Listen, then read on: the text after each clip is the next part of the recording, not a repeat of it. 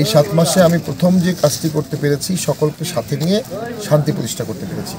এবং সকল প্রকার পুলিশি হয়রানি, প্রশাসনিক হয়রানি, রাজনৈতিক অস্থিরতা, রাজনৈতিক হানাহানি, মারামারি, কাটাকাটি, এগুলো থেকে সুন্দরগঞ্জকে মুক্ত করতে পেরেছি, একটা সহাবস্থান রাখতে পেরেছি। এখন সামনের দিনগুলোতে আমরা আরেকটি হচ্ছে বড় কাজের মধ্যে বলব, তিস্তা ব্রিজ এবং নদী রক্ষার ক্ষেত্রে আমি প্রায় এক হাজার কোটি টাকা বরাদ্দ আনতে পেরেছি।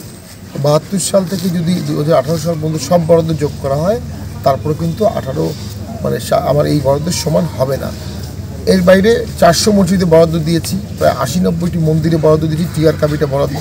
ছোটো ছোটো স্টেডিয়াম করেছি, ছোটো ছোটো গ্যালারি করেছি, লাইব্রেরি করেছি, এগুলো টিআর কাবিটা এমপির বরাদ্দ দিয়ে করেছি। বামনডাঙ্গা স্টেশন যেটা খুবই জরাজীর্ণ ছিল, সেটাতে কাজ করেছি। হাসানগঞ্জ স্টেশনের টিআর দিয়ে কাজ করেছি, যাতে মানুষ আমাদের বরাদ্দের সরাসরি সুবিধা পায়। সেটা নিশ্চিত কর্মী সমর্থকরা আমাদের হামলা করছে, আমাদের ভয় দেখাচ্ছে তারা সেখানে উগ্র ভাষায় ভাষণ দিচ্ছে, একটা ভীতিকর পরিস্থিতি সৃষ্টি করছে। তাদের সাথে আওয়ামী লীগের একটি অংশ যুক্ত আছে। আমি মনে করি সরকারের উচিত নির্বাচনের পরিবেশ যেন শান্ত রাখে, সেই বিষয়টি খেয়াল রাখা। এখানে বেশ অস্থিতিশীল ভূমিকা পালন করছে। এটাও ভোটার উপস্থিতি কমাতে একটি কারণ হতে পারে।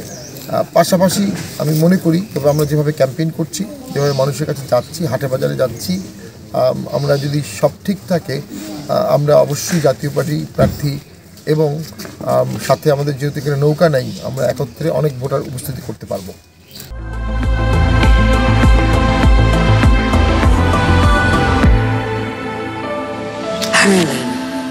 be a show stealer.